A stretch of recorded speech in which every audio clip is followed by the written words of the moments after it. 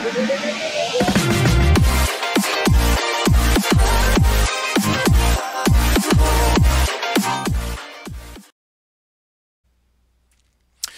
everyone, welcome to Microsoft Excel Intermediate class. I am your host and instructor, Ruben Herrera.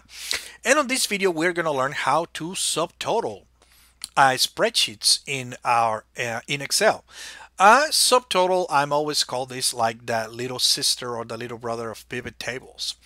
On this report right here, we have a medical testing facility that is doing business with some hospitals, you know, and uh, what we want to do, we like to subtotal or we'd like to know the totals for uh, each of these hospitals, each of these entities that we do business with. But I like to know not that like I like to know the totals not by institution individually but by the institution as a whole by each group of institution. For example in this case I want to know the total hospital sales that we're doing with all the locations that we have at Methodist Hospital. I want to know the total hospital sales that we have with with all the JPS locations we have. Same things with the Parkland hospitals and Baylor hospitals so what we want to do I can I guess I can add filters in here like we already know I turn this into a table add a total row you know. But if tables are not your thing we can also subtotal this report okay? So to subtotal this report the number thing that we have to do my friends is to decide which will be the criteria or what kind of group or what do we want to subtotal our reports by. Okay.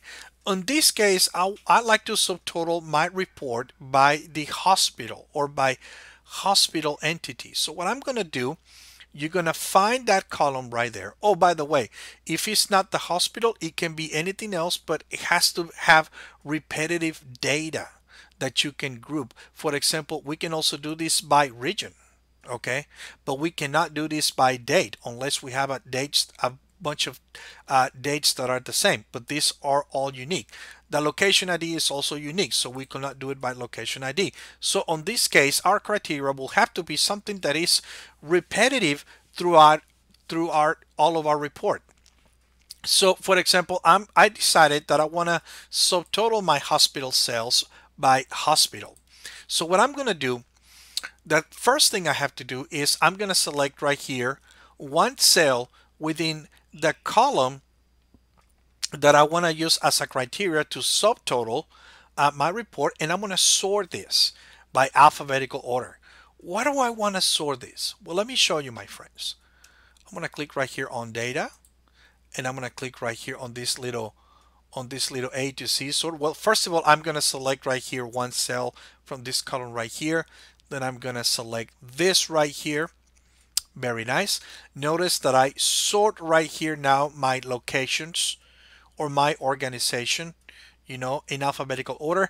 And what this does is that also forces Excel to group, to group all my different locations by entity or by organizations.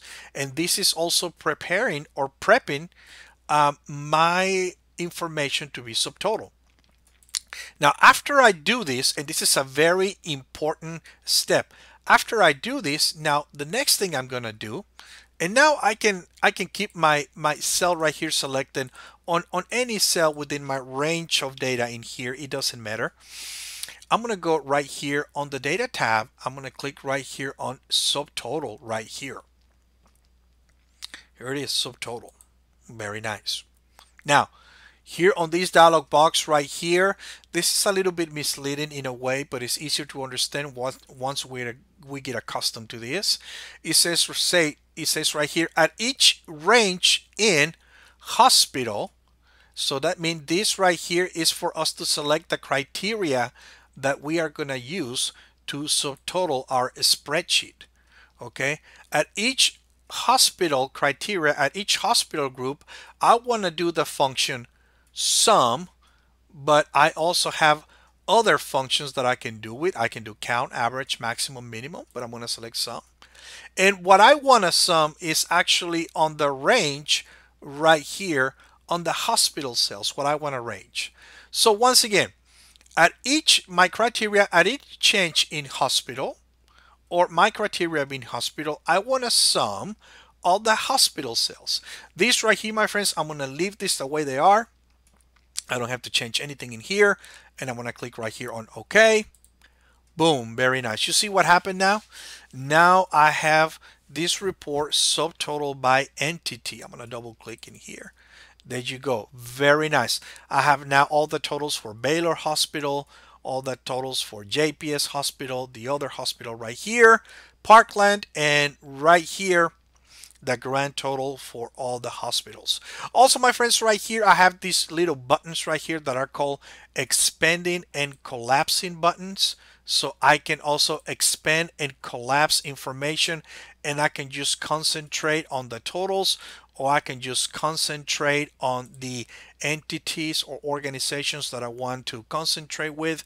And I also have right here these buttons right here at the top. These are called the level buttons.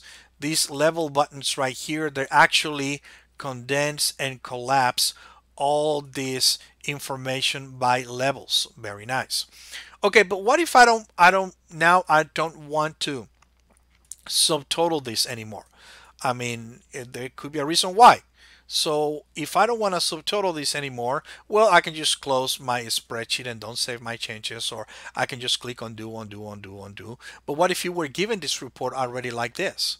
If you want to unsubtotal your report, very simple. What you have to do, my friends, is click anywhere right here on your report, click on subtotal, now on the dialog box, all you have to do is click right here on this button that says remove all.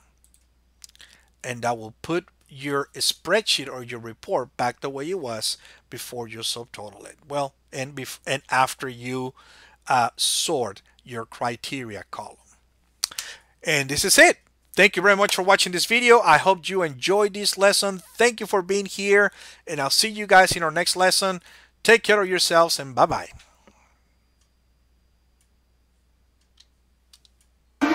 bye.